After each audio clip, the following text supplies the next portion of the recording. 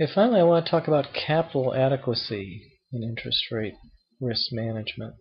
So we're talking about interest rate risk in particular.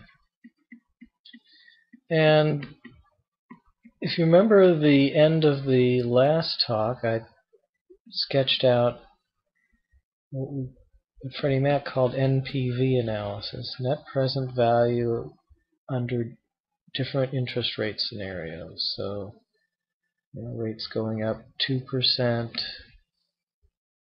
up 4%, 0 would be no change from where they are now, minus 2 would be they would drop 2%, minus 4 would fall, and sketch sort of what, what that might look like.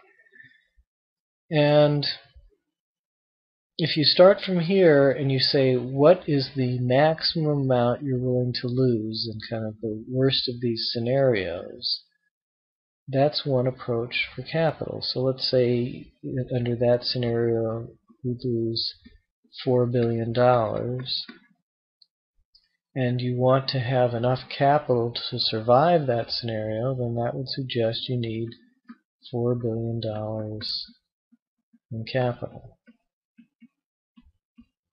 So I th I think that's kind of the most sensible approach to doing capital adequacy. There are you know, lots of ways that, that, people have thought of for doing capital regulations, um, and there have been uh, at times proposals that that capital be uh, model driven. Okay, one of the okay, so let me go back to maybe what some of the strengths of this approach. Again, the strength of it is it's sort of clear uh, what you're measuring and what you're doing.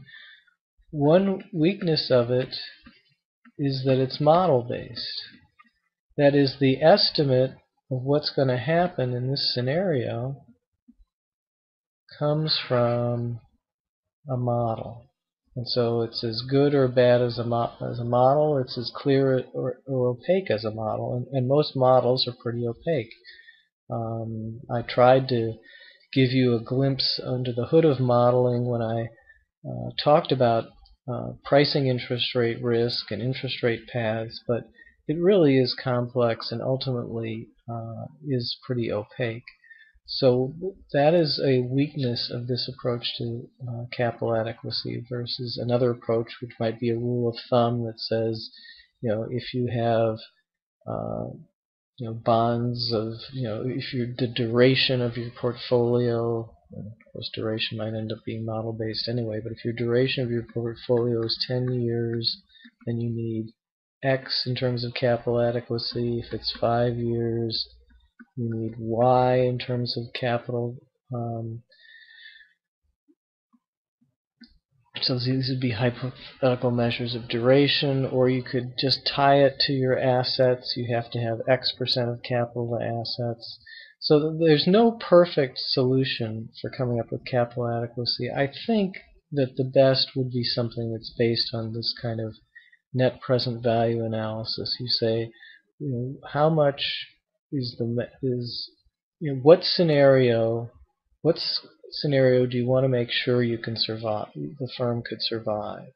And if that's if the if you're willing to say well but if the if rates go up by more than 4% and the firm goes bankrupt so be it. That's such an extreme scenario. We can't go beyond that.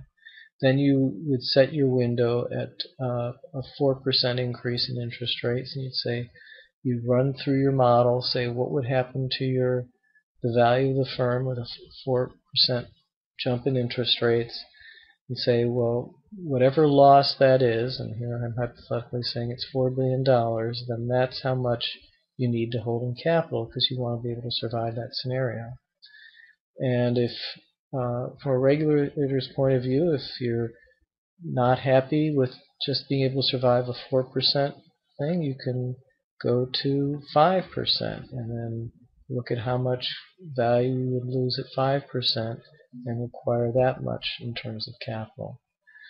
Um, so again, be very careful because this is model based and then be very careful uh, because of the window. It's very, if, if a regulator were to say, we're going to look at a window of negative 4 to 4, I guarantee you that some firm is going to come up with a package of derivatives in its portfolio so that between negative 4 and 4 it, it has almost no change in value and then it falls off a cliff as soon as you go outside of that that window of negative 4% interest rates and 4%.